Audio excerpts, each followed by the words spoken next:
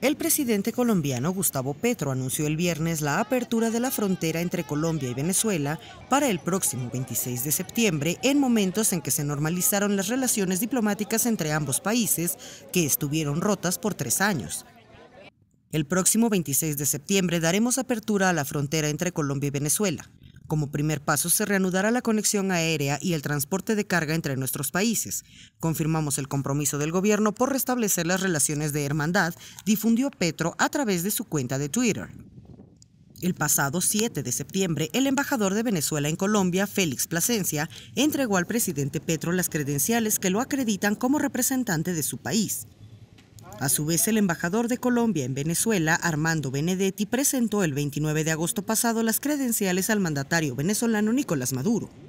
Plasencia expresó recientemente que ambos países son pilares fundamentales de las mejores relaciones diplomáticas suspendidas en 2019 durante el gobierno del entonces presidente colombiano Iván Duque.